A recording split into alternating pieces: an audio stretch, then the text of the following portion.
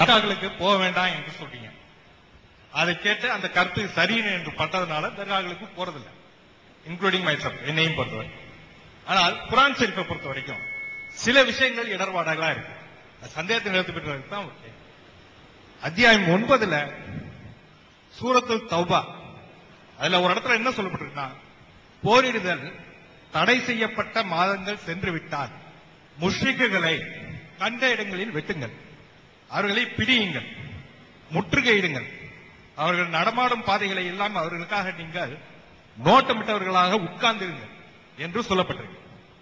அத்தியாயம் எட்டு முந்தின அத்தியாயத்தில் காபீர்களின் அதாவது எதிரிகளின் கழுத்துக்கு மேல் வெட்டுங்கள். அவர்களில் இருந்து ஒவ்வொரு கணுவையும் வெட்டுங்கள். இவ்வளவு ஒரு தீவிரமாக ஒரு கருத்து குரான் ஷெரீஃப்ல வரப்பட்டிருக்கு. தீவிரவாதம் டிஎன்டிஜேக்கு உகந்ததல்ல. பல கருத்துக்களை டிவிகள நான் கேட்டிருக்கேன். உங்களுடைய ஸ்பீச்சை கேட்டிருக்கேன். தீவிரவாதத்தை ஆதரிக்கிறது இல்ல அப்படின்னு சொல்றீங்க.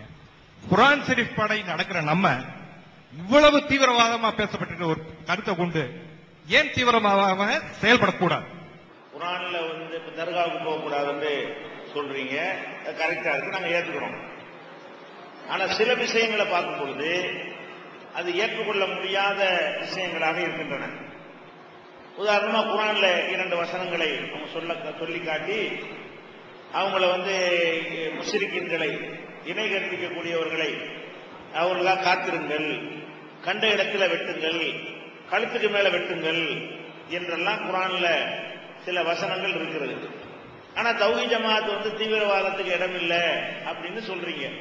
ஆனா குரான்ல என்ன இருக்கிறது? எதிரிகளை எல்லாம் வெட்டுங்க கொள்ளுங்கன்னு வசனங்கள்லாம் இருக்கிறது.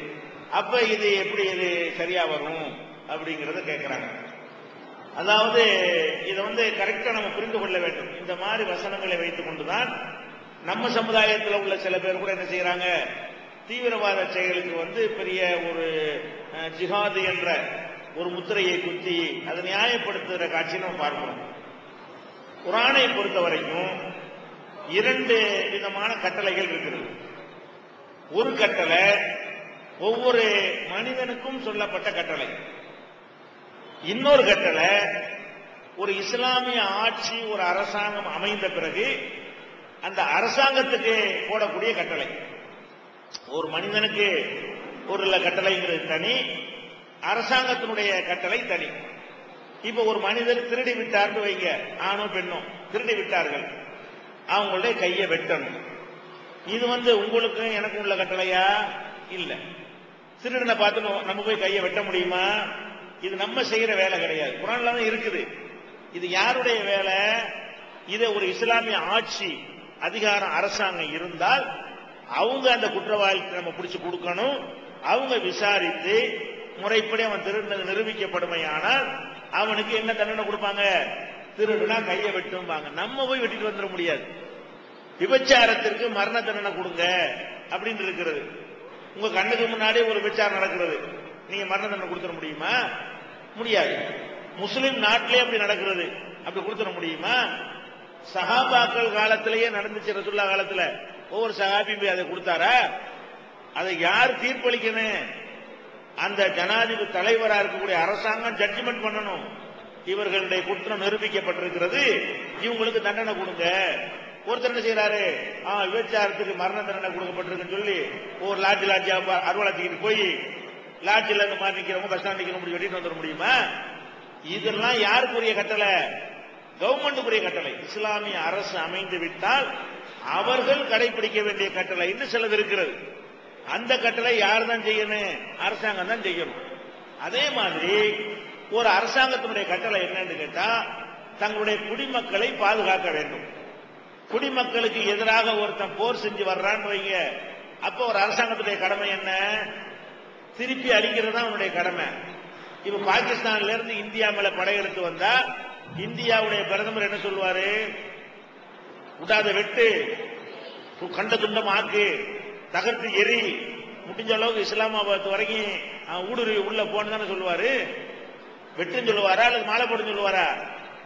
அப்ப ஒவ்வொரு ஒரு நாட்டுக்கு எதிராக இன்னொரு நாட்டுக்காரங்க படை திரட்டி வரும் பொழுது அந்த நாட்டை ஆட்சி செய்யக்கூடியவர்கள் பணிஞ்சிராம கோழைத்தனமாகி விடாமல் சரணடைந்து விடாமல் பெண்களையும் குழந்தைகளையும் சிறுவர்களையும் அப்பாவிகளையும் பொதுமக்களையும் சிவிலியன்களையும் பாதுகாப்பதற்காக வேண்டி தன்னுடைய படைகளுக்கு இப்படித்தான் உத்தரவு போட வேண்டும்.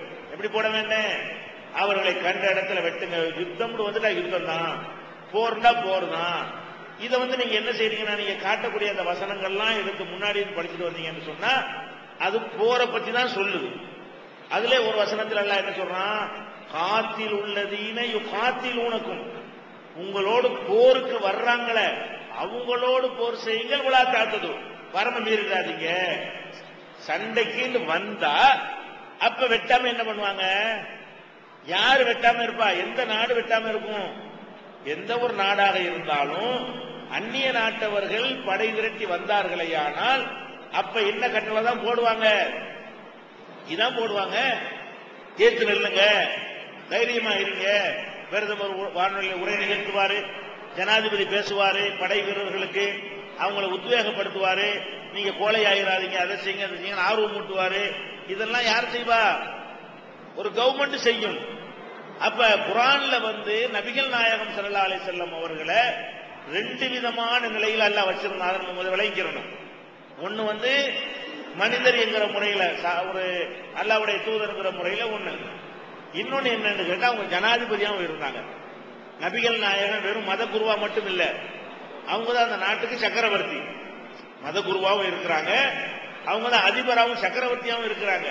அப்ப சக்கரவர்த்தியா இருக்கக்கூடிய நேரத்துல அவங்களை எதிர்த்து யுத்தத்திற்கு வருவார்களேயானால் அப்ப என்ன உத்தரவு அவங்க போடணும்? தன்னுடைய படை வீரர்களுக்கு என்ன கட்டளை இடணும்? அந்த கட்டளை தான் அது. குரான்ல வந்து போர் செய்ய சொல்லி வருகிற எல்லா கட்டளைகளும் ஆட்சியாளர்களுக்கு உள்ள கட்டளையே தவிர பொதுமக்களுக்கு உரிய கட்டளை இல்லை. உங்களை உங்களை வந்து ஒரு கலவரம் வருதுன்னா நீங்களா ஆயுதம் தயாரிக்கிறது நீங்களா ஒரு படை திரட்டுவது நீங்களா போயிட்டு வம்பு வளர்க்கிறது இது இது வந்து இஸ்லாம் அனுமதிக்குதா? அப்ப திருடினா நீங்களா கையை வெட்டிடுவீங்களா?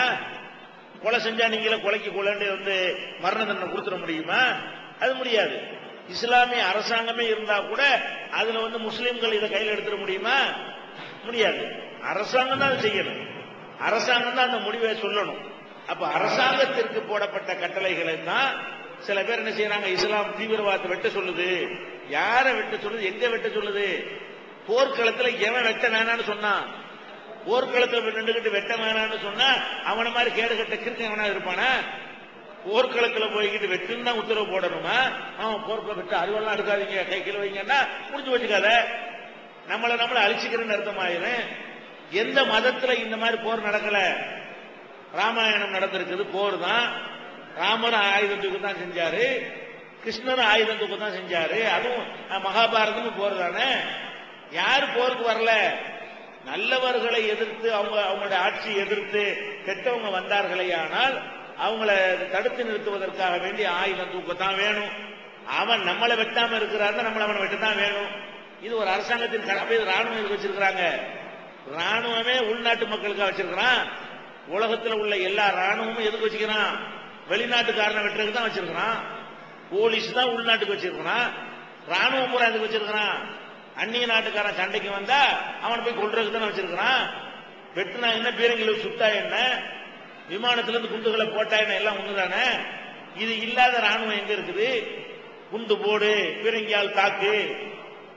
அப்ப இத வந்து நம்ம என்ன? குரானை வந்து அந்த முன்பின் தொடர்ல இருந்து படித்து கொண்டு வந்தோமே ஆனால் அப்ப என்ன வந்தன?